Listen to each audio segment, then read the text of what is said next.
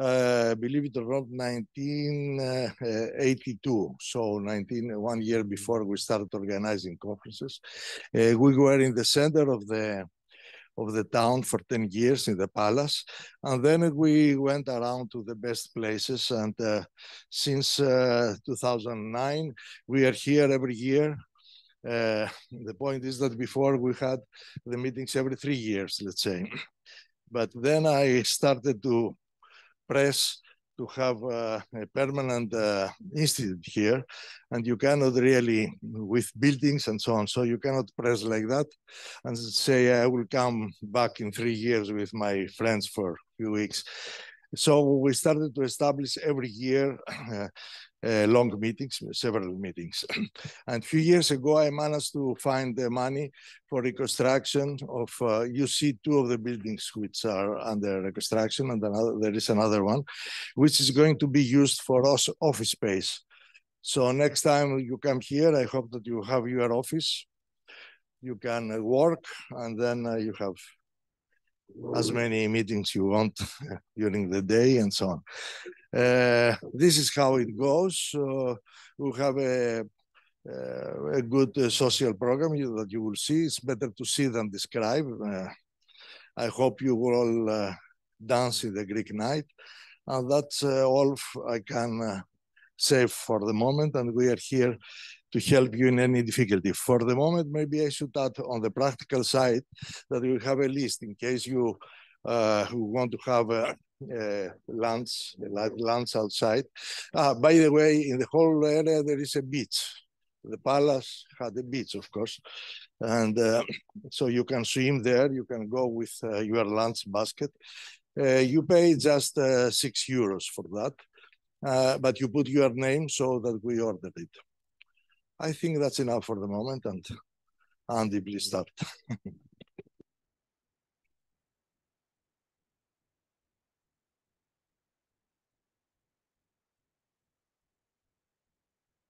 Let me also extend a very warm welcome to all of you who have made it here to this wonderful and historic uh, place. Um, so this conference is supposed to be a cozy, informal, asking lots of questions conference. And so hopefully uh, you'll do that throughout uh, the talks that will take place in the mornings and then also the discussion sessions which we have in the afternoons. And we're very happy to kick off this week um, with uh, Andy Strominger, who will tell us about, I guess, top-down uh, holography? Holography beyond ADS. Holography beyond ADS. Okay, great.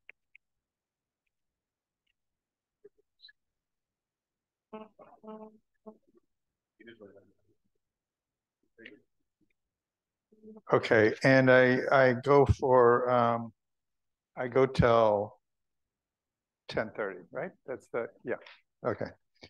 Um,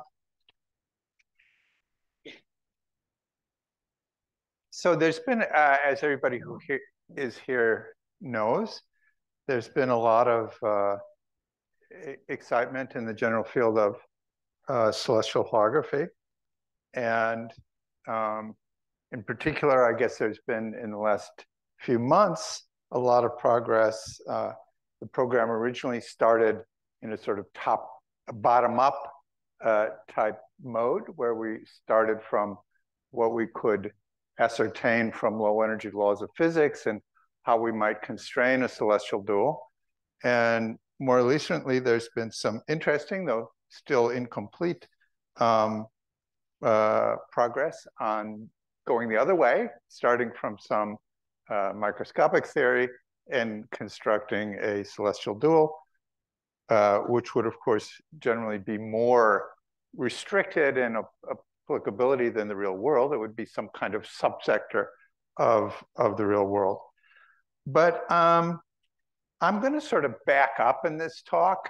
Um, I'm I guess I'm le also leading a discussion session at the end where I would imagine we're likely to get into mo more of those to topics.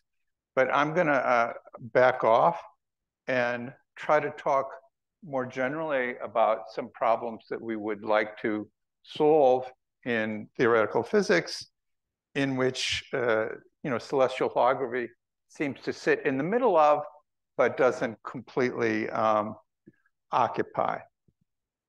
So one of the goals, of course, of celestial holography is to take all the fantastic amount we've learned from ADS holography and adapt it in some way so that we can apply to the real world that uh, we, we live in.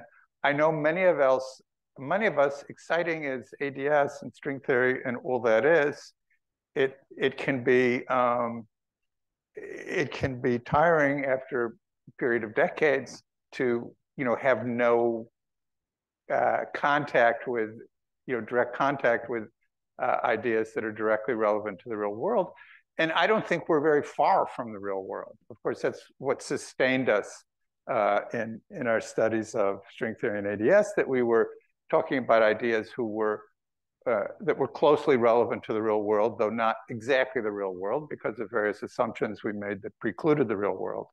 But I think we can drop those, and um, and and uh, it's it's a good time to do that. Um, but a slightly different question, making contact with the real world, is understanding what holography is.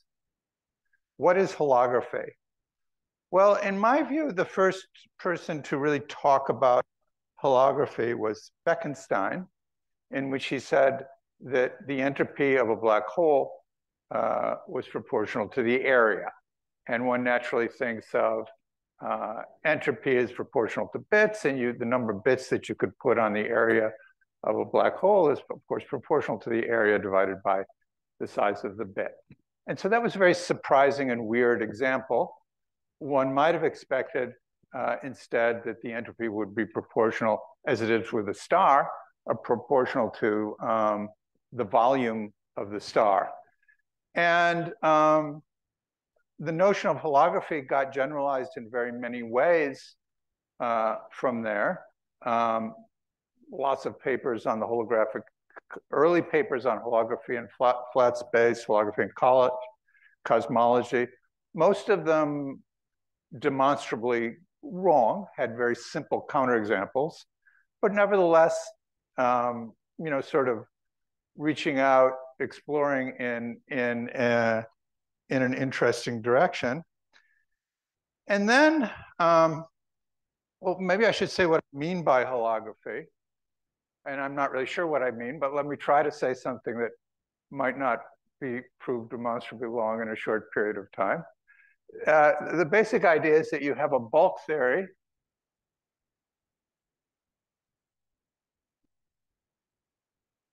Of which includes in which the metric is a dynamical variable that's quantized, a bulk theory of quantum gravity, and it's shown to be identical to some theory, which we'll just call a boundary theory, but we're not going to say what the boundary is, which is just some, some kind of quantum field theory without gravity, usually in fewer dimensions.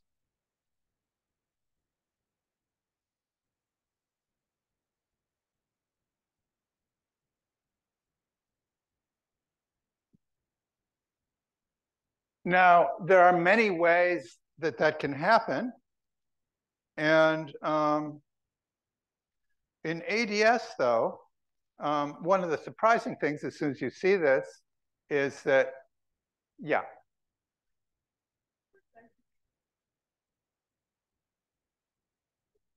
Say what? Uh, what I mean by identical, um, yeah. So what simply what I mean by identical is anything we can compute on the left, we can also compute on the right. That's all I mean. Nothing profound. Uh, it's a practical statement.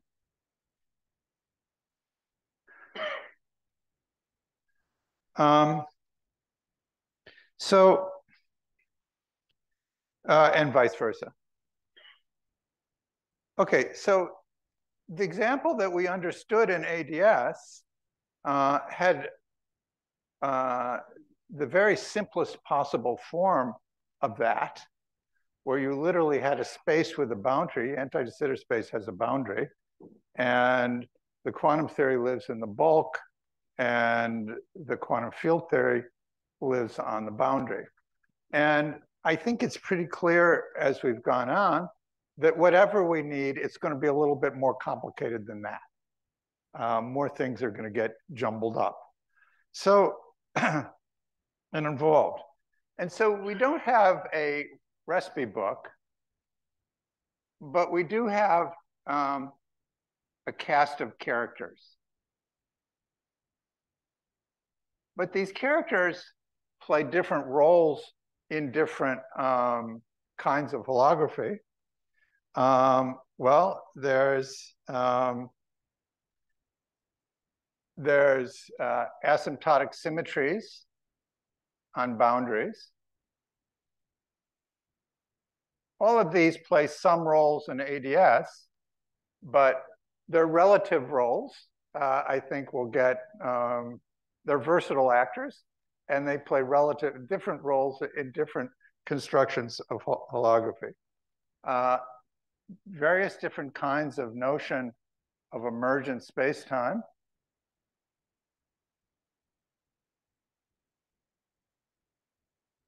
have appeared. Um, event horizons, event horizons, which I would include cosmological horizons and black hole horizons. Um, Ryu-Takayanagi surfaces, which are various minimal surfaces, which we could just call various extremal surfaces in the space-time. Um, the notion of a holographic screen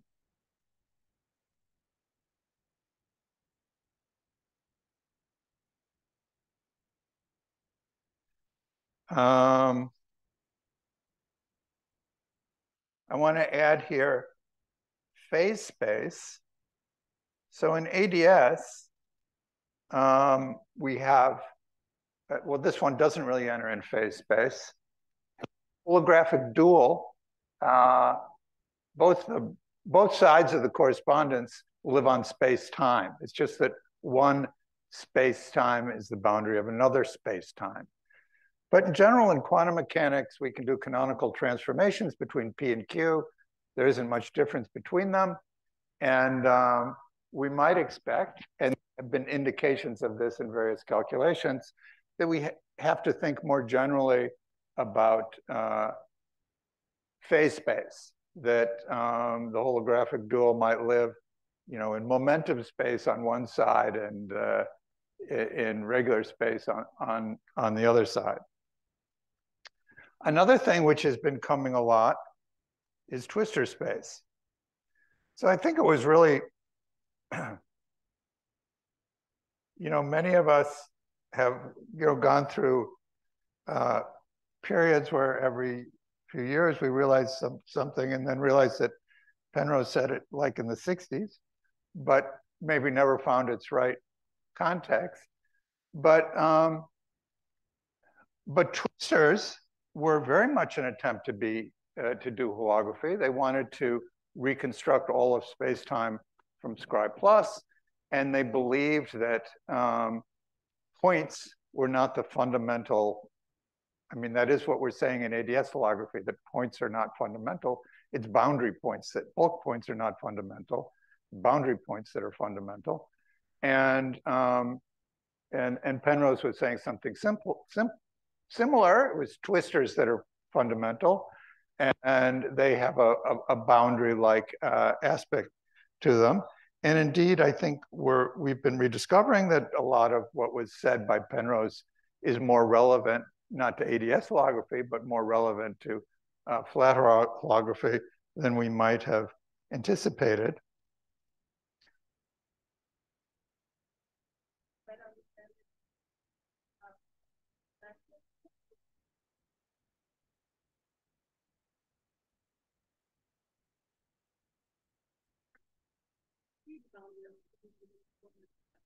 Yeah.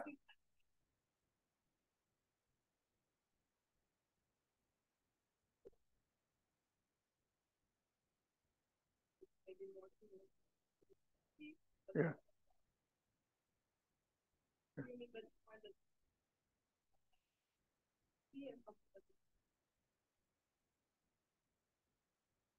Well, um, one thing that plays an important role in, in um, the original, certainly in Maldacena's original construction, was the idea of a near horizon region. And the near horizon region is a region in space time. But there are several, and, and once you have the, the symmetries in the near horizon region, there's some more steps to getting some kind of duality. But um, there's some examples that we have now, one that I'm going to discuss, the photon ring, um, and one uh, that Castro Maloney and I discussed later, where you have emergent symmetries. But the, the scaling regions are regions of phase space, not of space time. Uh, and somehow that never happens in ADS.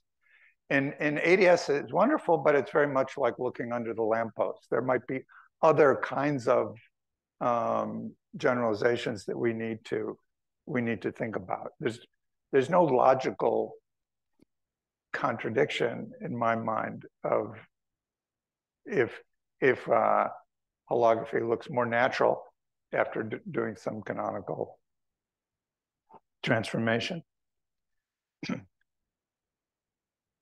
okay, um, so what I'm going to do, and so uh, uh, well, I just said it, I'm going to introduce at the end of a talk a new character, the photon ring. And I'm certainly not uh, claiming to assemble the cast here. Um, I just think it's, I think it's something that uh, celestial, you know, it's not good to just sit around and, you know, stare at your navel and think about deep ideas. It's good to calculate. Um, but it's also not good to just calculate and not think about things uh, more generally. And so I'm just trying to throw all this out. Um, and so what I'm going to do is I'm going to make some general comments about the structure of holography. So in understanding celestial holography, it's clearly different from ADS holography. It's codimension two, not codimension one and you one of the directions you lose is the time direction. And um, what are the rules about that? When do we lose the time direction? When do we, you know, when does it measure one? We don't know. Uh, we've got something that seems to work. So there are a few other examples that I think are good to think about. And I'm going to talk about ADS, DS, Minkowski space, uh, Klein space, and a little bit about black holes and flat space which I think are a very different animal than black holes in ADS space. There's been an enormous amount recently about ADS, uh, ADS and black holes in ADS and all the islands and so forth. And none of that applies to uh, black holes in, in flat space, which are really qualitatively different. Okay. Uh, any questions?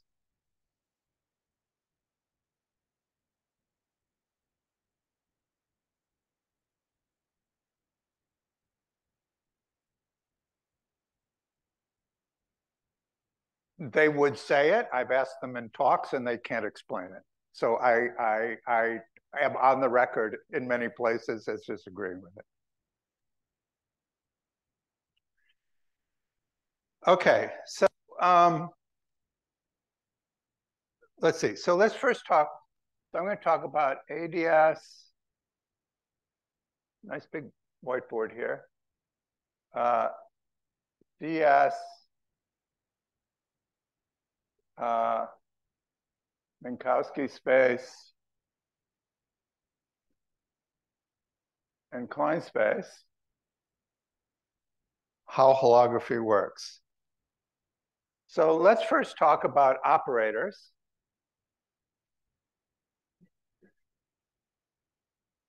So in ADS, now this is always a little hard in ADS because it's hard to draw the boundary without drawing the bulk, but this is supposed to be drawing of just the boundary. Is there another color here?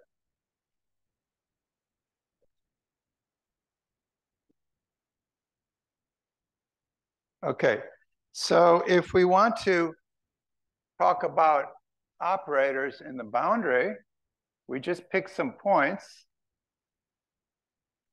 and um, going around the back here, just go around the boundary, let them interact somewhere. And that's how you compute boundary correlators. Now, if we want to do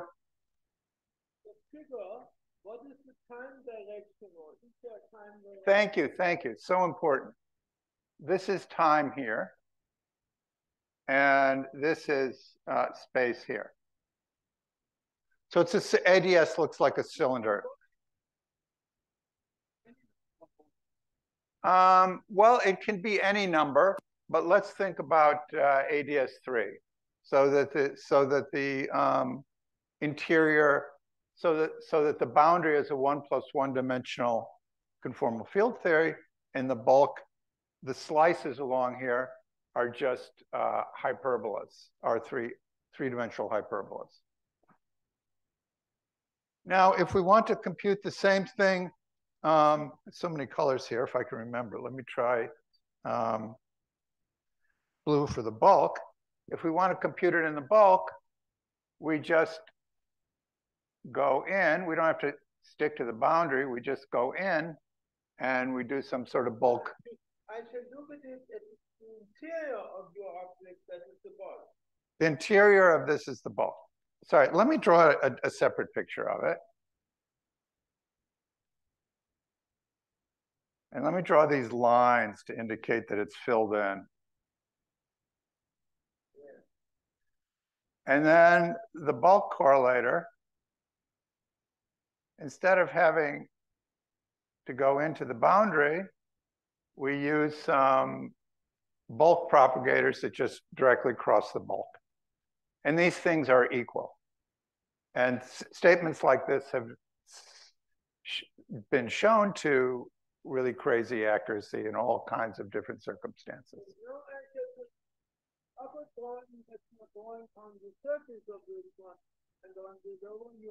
Yeah, yeah, yeah, yeah. Yeah, yeah. I like to, my, the analogy I like to use is like a Campbell's soup can. If you want to know what's in it, you can just read the ingredients on the boundary. That's the boundary description. Or you can open it and eat it. But then the correspondence between these points is not natural. No, no, because we we are only allowed, even in the bulk, the points must be on the boundary. And the logic for that is that there are no observables associated to points in the bulk because there's quantum fluctuations of the metric. And the rules for the path integral is that the metric doesn't fluctuate on the boundary.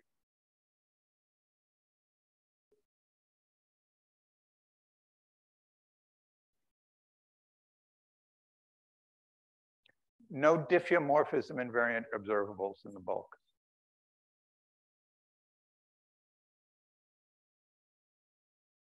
You're right to be unhappy about that, but but that that is, and it, to the extent that you have diffeomorphism invariant invariant observables, you can you have to be able to reconstruct them from boundary observables. And there's a long thousands of papers on how you go about doing that.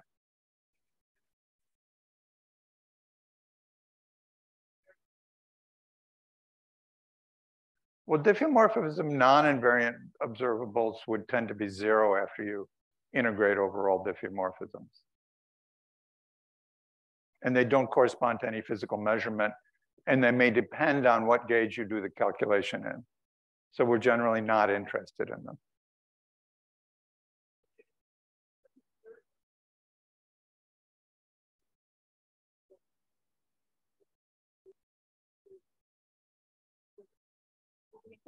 Well, what you would say, uh, what what you, what you would say, and this is not completely uh, unsatisfactory. What you would say, I think, is that the observer, everything really lives on the boundary, but certain combinations of things on the bulk, on the boundary, are are effectively projected into the bulk, and can to a great deal of approximation, and indeed exactly in the classical limit, look as if they are in the bulk. But ultimately, to have an exact quantum mechanical, you know, strong coupling observer, you need to pin it to the bulk. Now, this gets very hard to the boundary.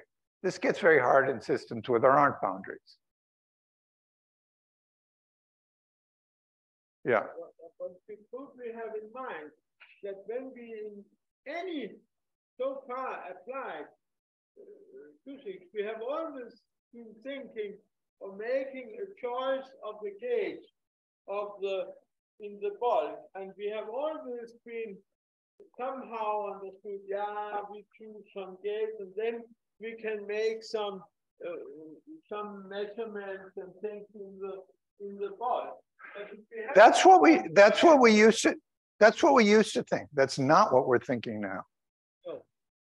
Now is that we can define the things on the boundary. I think what we used to think is that we would try to define things exactly in the bulk, but what we defined would necessarily involve a gauge choice, and um, exactly what it is would depend on that gauge choice. Now I, now I would say in ADS, we think about it a little differently. We uh, define it on the boundary, uh, hope that it, try to construct it, you know, use things like the Penrose-Krichover map and so on, and try to describe it in such a way that it, it would, in some classical limit, correspond to exactly something on the bulk, eh, on the, on the boundary, and then it is whatever it is um, when you go away from uh, the classical limit. So you can you have a choice. You can have things which are exactly defined, even when all perturbation theories are turned on, and are gauge invariant. Or you can have things, but not, might not correspond intuitively to a localized observer or somehow uh, carry some other uh, or you can have things whose definition depends on some gauge choice, and then uh, maybe you can make it look more like an absorber, but maybe not. It's exceedingly difficult to, to take anything of what you know and do today and put it into a completely parameterization environment again in, in, in general relativity because you can't even tell where in space time you are. And, and, and you will you will not know if it is this. So just to tell where you are, you will tell to, to give some uh, recognition. Here I see that church, this number of things or so. But this reminds me of people in the night. This reminds me of people in 1930 who said it's exceedingly difficult to measure the position and the momentum of a particle exactly. There's some things you just can't do in physics. And, and that's what we, and, and having something like ADS, where, where we can control it exactly, gives us a good, gives us a good sense in that. Okay, let me go on. I haven't gotten very far. Oh, no. Okay. All right. Um, um, okay, so de Sitter space. So all this is, is pretty well accepted. Uh, it, it's a construction in mathematical physics. And uh, embodies what we would like to think of as holography, that we start out with some theory which lives on the boundary, the surface of the can here and the interior in there. Now we'd like to extend it to four other things, de Sitter space, Minkowski space, and Klein space, where um, uh, uh, Klein space is Minkowski space with two comma two signature. So in de Sitter space, the, uh, the boundary uh, is, uh, depending on whether there's a big bang or not, there's a boundary in the um, far future. And in the case of our own boundary, we believe that that boundary is uh, S3. And um, if we want to compute correlation function in the boundary, uh, DSCFT, which is sort of a continuation of uh, ADS-CFT, posits that those correlation functions are correlation functions in some conformal field theory. And then in the bulk theory,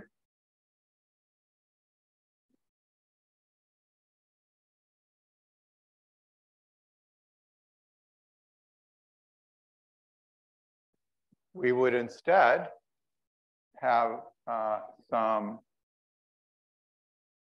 correlation functions, the same correlation functions on the boundary, but we could compute them exactly by um, cor correlation functions that go into the boundary. So this one is very much like DSCFT in the sense that the boundary is codimension one.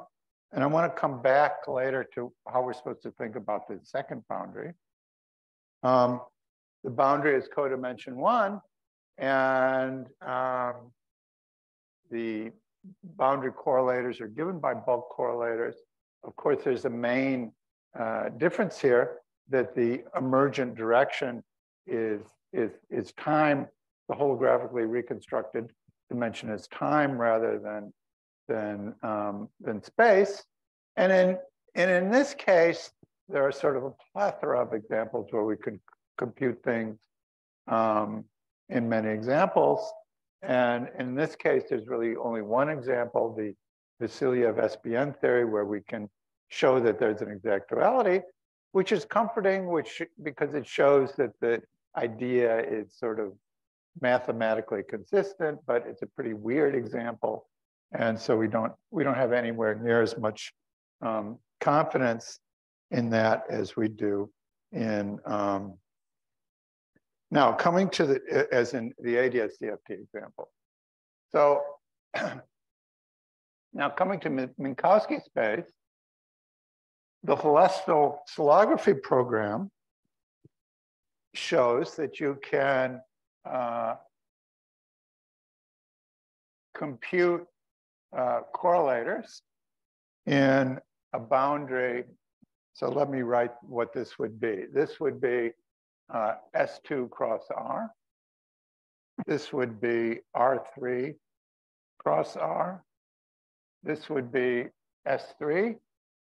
This would be, uh, you know, topologically R4 and or top sorry topologically S3 cross R. And this would be um, S2. And then this is uh, holographically dual to a situation where we compute a scattering amplitude, which um, which goes into the bulk. And here, um, so here there are a lot of difference. This, this, so first of all, um, and this is M4. Here there are a lot of differences with ADS space. And what I'm suggesting here is we should find some kind of pattern or some way of thinking about what holography is in which each of things is a special case. It shouldn't be on a case by case basis.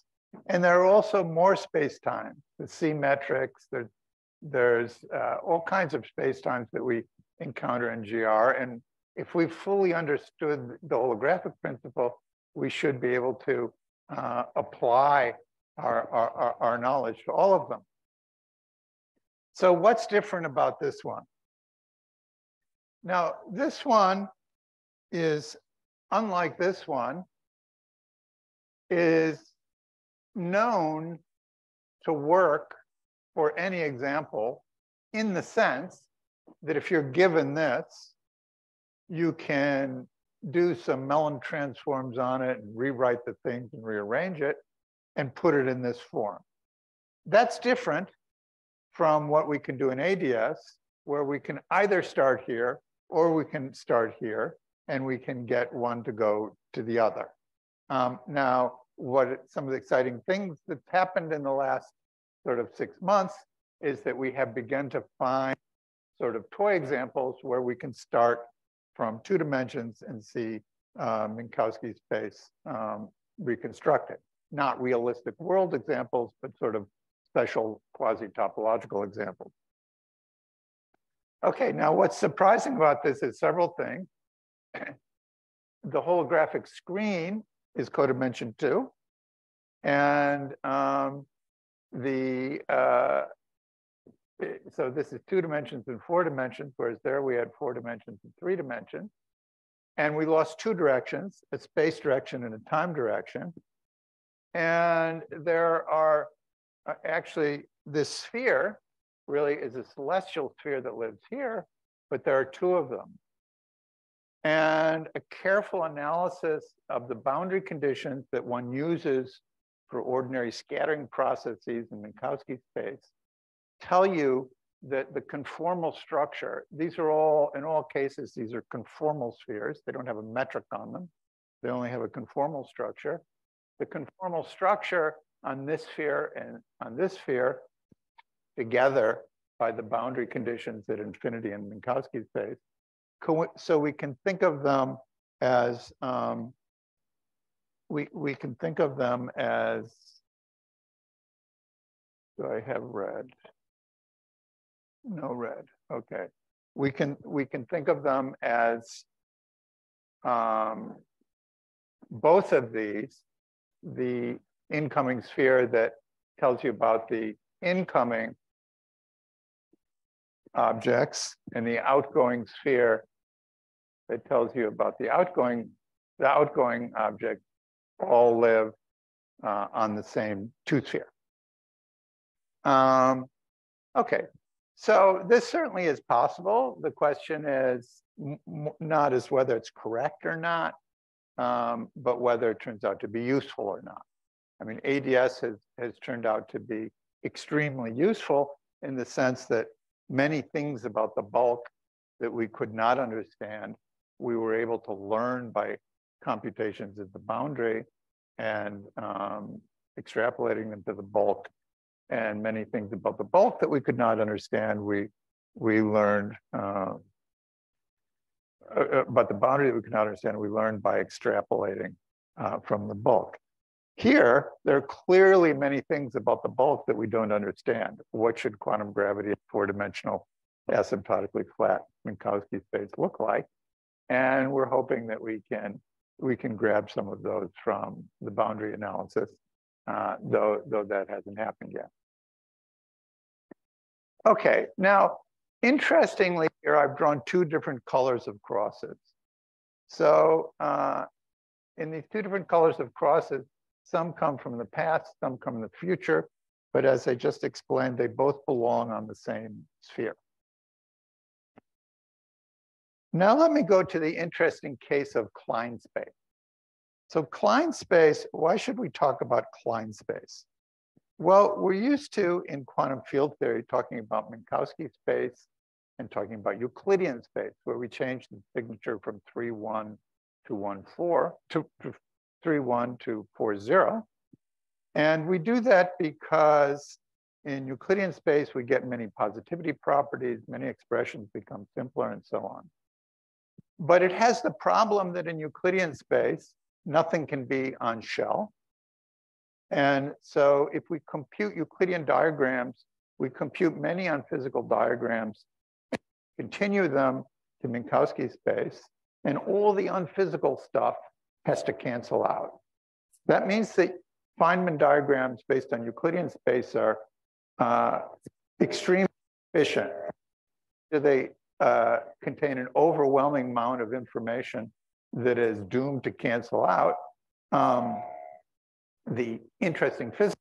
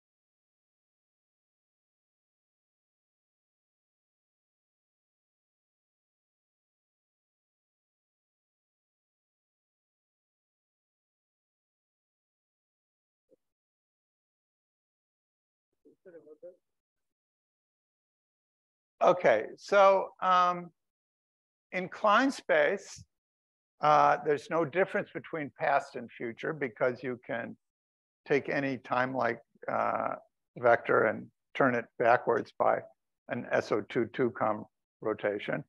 And the Penrose diagram looks like this. It's a triangle where, where this is time and this is space. And there's only one asymptotic infinity. And here in Minkowski space at asymptotic infinity, there was a sphere, the celestial sphere.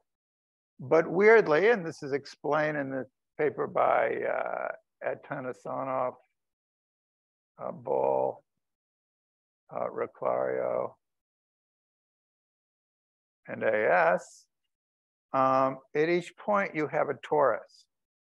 And so this is kind of a toric Penrose diagram where uh, the cycle of the one cycle of the torus generates here and the other cycle generates here. So the whole thing falls together into uh, an R4. And in Klein space, we only have one region and um, we have both the in and the outs uh, represented in this region. So uh, if we want to do the boundary calculation, we have a two-dimensional Lorentzian torus. We um, specify points on that torus and compute correlation functions in a two-dimensional uh, conformal field theory, or equivalent, well, let me talk about states in a second. And that contrasts with the boundary computation, where since there's only one boundary, everything has to scatter into nothing. So instead of having an S matrix in Klein space, you have an S vector. Um, and the and the allowed uh, scattering states that travel non-trivially are are um, are those that can annihilate. Well, if you just take one particle and send it in, it will do something like this and come back out. So you'll get you'll you'll get two particles. That's a trivial scattering process. Okay, so th this is the basics of how the holographic dictionary works uh, in these three cases. Uh, how many minutes do I have? Zero minus five?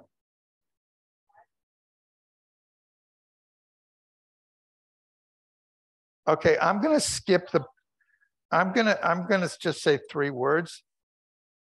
I'm just gonna say three words about uh, the photon ring, but, but let me say something about um, emergent space-time, which I, which I think is, is, is, is, is pretty interesting. So um, the idea of emergent space-time, of course, here you have it that the bulk uh, emerges from the interior, but that's a little uh, unsatisfying because, okay, the bulk states are equal to the boundary states. And um, the, the more interesting thing is the old Maldacena thermal double.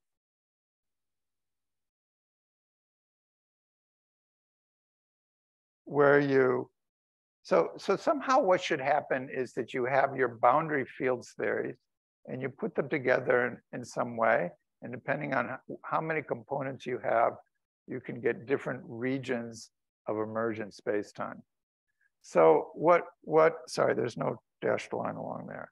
So what Maldacena said is we take two copies of the CFT, one that lives over here and one that lives over here. And if we took either one of them alone, we would just get a single space-time whose boundary was a cylinder. But if we take two of them and we put them in a thermal field double state, e to the minus b, beta e. So this whole row, the top row was boundary, bulk, and now we're talking about emergent.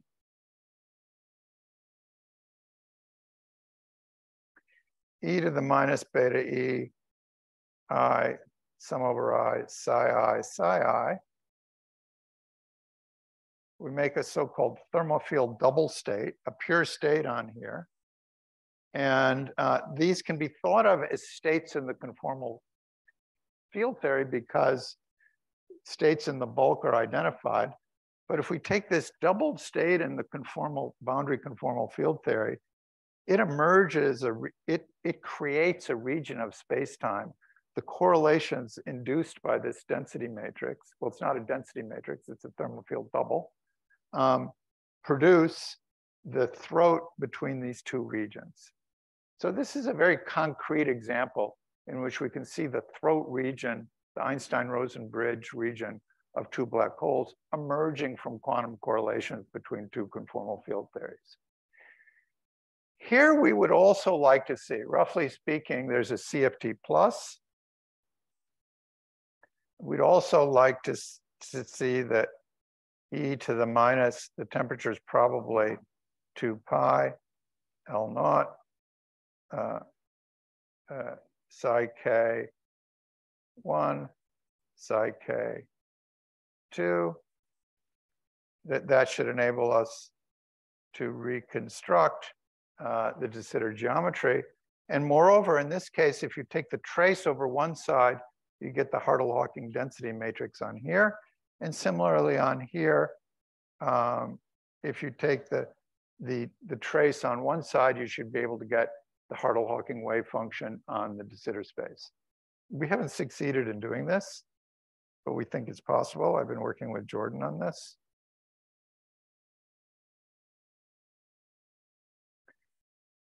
Now, similar things are, are true here. So in Minkowski space, actually, we have two, two states, in and out. And there's a natural double of those. We can call the state S, which is the S matrix, S alpha beta, psi out, alpha, psi out, beta. And this is a thermofield double state. And there should be some sense in which all of Minkowski space uh, emerges from, um, from, we can think of it as emerging from this double in the space of states. Now, this is more interesting, I think, to think about when you go to the CFT dual. So what are states in the CFT dual? Oh, also I should have said over here, what are states in here? So states in here, if we take the boundary, we have a CFT, we take a point in the boundary, and we take a two sphere around it, and we get a state psi i associated, say, with some operator in the origin, we get a state psi i in the CFT. So um, this thermal field double should be states associated with operators of those kind. Similarly here, it's very interesting. If you look at uh, scattering in Minkowski space, um, then you're scattering from the past, bulk states from the past to the future. And this was discussed in a paper by Crawley, Miller, Melton, and myself. You start out in the bulk stu studying states which go from the past to the future, but then this S matrix is represented by uh, some correlation function on the sphere in the celestial dual. And in the celestial dual, if you were to think about this as a matrix element, you would take the sphere and you would cut it in half, and you would think of it as the quantum state on this sphere, the interlap between the quantum state on this sphere and the quantum state on this sphere. And that, so this sphere is everything that's on the north side of the space. And this sphere north, north, south. And this sphere is everything that's on the south side of the space, roughly speaking. So in this calculation, what you're doing is you're completely reorganizing the S matrix. Instead of saying that you want to study given a state in the past, what is the state in the future? The question that you naturally ask in celestial uh, conformal field theory is a completely different one. Given the state on half of scri minus and the state, let me draw it over here. Given the state here, psi uh, past in the south, and the state here, psi future and the north, that's the same thing as being given half of one of these spheres. Suppose you know this and you know this. What happened here? So it's a very interesting reorganization of the scattering process. And indeed, we know if we send a particle in here and it comes out here with a phase shift, we know that it passed something in here. So this celestial field theory uh, rewriting is telling us, um, you know, to reconsider the way we think about scattering processes in space-time. And the way that we think, it, put another way, the opposite way, the way we think about scattering in space-times is not the one that's naturally presented uh, in the celestial dual. And indeed, the one that is naturally presented in the celestial dual may have various kinds of properties and so on, which enable one to uh, constrain its form uh, with, with, with, with less work. And okay, I better stop, but the problem gets even more uh, interesting when you when you go to to to Klein space. And finally, I want to say that um, there's another character that we just wrote a paper on, and I prepared two pages to, to talk about it, uh, namely the photon ring that um, sits outside uh, the black hole. And it also appears to be some kind of uh, holographic screen that uh, whose properties we don't fully understand. Okay, so I hope I succeeded at talking for an hour about things I know nothing about.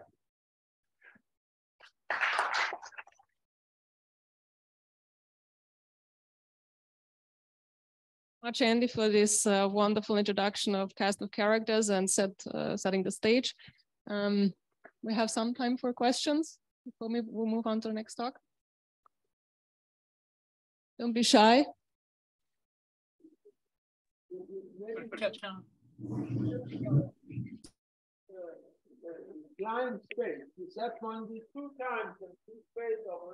Yeah, yeah. So, so in the um, in the amplitudes program, um, or in many in many texts on quantum field theory, one often finds that that that um, a lot of progress is made by treating spinors and conjugate spinors as independent. You don't need to vary them separately. For example, if you write your momentum P P alpha alpha dot equals P mu gamma mu alpha alpha dot. Then it becomes a bispinor. And it's often very useful to vary those two components of the bispinor completely uh, uh, independently. And, and um, th that's like varying Z, making Z and Z bar independent and um, something mathematicians often do. And doing that, if you do that, in effect, you're going to Klein space. And um, uh, because in Klein space, uh, the, the, the, the, group of spinors in, in, in Lorentzian space, the Lorentz group is SL2C. So the spinors transform in their doublet and their complex conjugates. And in Klein space, the, the, the isometry group is, is SO22, S, which is SL2R squared. And so the spinors are just completely independent. So uh, it's my view that most of the papers on amplitudes, um, which have developed an extraordinary number of powerful results about the, about the um, properties of scattering amplitudes in all kinds of theories are, are largely in Klein space, not in Euclidean space. When you go, and in particular, if you want to build up scattering amplitudes from minimal on-shell components, um, you, you need to be in Klein space because in Euclidean space, um, there's no such there's no such thing as as on-shell. So we thought rather than sort of implicitly working in Klein space, one should um, understand it explicitly what Klein space is. And it turns out that Klein space is a, is a very interesting place with a non-trivial causal structure. And it says that the dual, the, the dual of, um, if you have a dual in, in Minkowski space, the dual lives on two celestial spheres, but these celestial spheres are really joined into one. And in Klein space, what you have is instead a celestial torus. You find that infinity is described by a torus, but this, but if you want to continue back to Minkowski space, let me draw the torus like this, where you identify the top and the bottom and the sides. So to continue back to Minkowski space, you have to decide what time is. You have to choose one of the two time directions as time. And that amounts to choosing a diamond on the celestial torus. And so the celestial torus, you can see there's two diamonds. And one of these diamonds is you analytically continue using this choice of time back to Minkowski space. One of these becomes the past celestial sphere and the other one becomes the future celestial sphere. And um, in the Minkowski case, you have this sometimes annoying feature that a free particle comes and ends the same point on the celestial sphere. So the operators, at every point, there's two operators, the in operator and the out operator. And in Klein space, the, the in operator and the out operator live on opposite points in the celestial sphere, and they have the property that they lie within each other's light cones.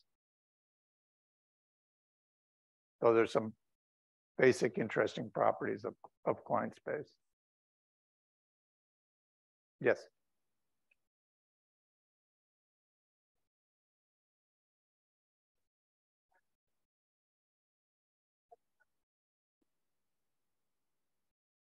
In the flat space? Well, um, so let's see. Uh, I'm not sure that this the space is is not entangled. So a, a familiar example of that, it's more of a question of whether it's a good idea to think of the space as entangled, whether it's useful. So for example, if we go back here, of course, this state is not entangled. The, the, it's not, it's not, if you look at the full Hilbert space on this slice, the Hartle-Hawking vacuum is not an entangled state, it's a pure state. This is a pure state. However, um, what I've written here is it's a product, entangled product state of the left Hilbert space and the right Hilbert space. So if we trace out the right Hilbert space, we get a density matrix. Um, now in Minkowski space, so um, um, similarly, we think something similar might be true in de Sitter space. In Minkowski space, I think, um, yeah, if you take the S matrix, you have an in state and an out state. Uh, if you trace over the either one of them, you get an entangled state. And um, Moreover, um, other things to think about here, the S matrix is rather different in the um, celestial basis in the, in, from this point of view of the celestial sphere. So if you trace over the right half of the sphere, you, you will get an entangled state. If you trace over the right half, you'll get an entangled state. in the left half. And moreover, in Minkowski space, of course, we're used to thinking of the Minkowski space as the a pure state. You know, uh, however, you can write it as an entangled state in the Rindler basis. That's familiar. And indeed, the, the Rindler states are eigenstates, they're boost eigenstates, which is what we talk about when we go to, um, you know, the, the, the states, the modes of the unentangled picture of Minkowski space are Minkowski modes. And the, um, uh, but it's natural from the celestial point of view to think about boost eigenstates. And so it seems to me quite possible that um, there's a good way of thinking about, from the point of view of celestial physics, of thinking about even Minkowski space as a kind of entangled state. And as Minkowski space itself is something which is emergent from the celestial, the states in the celestial conformal field theory of um, of uh, of the celestial CFT, in the same sense that uh, in the Rindler base, Minkowski space is emergent.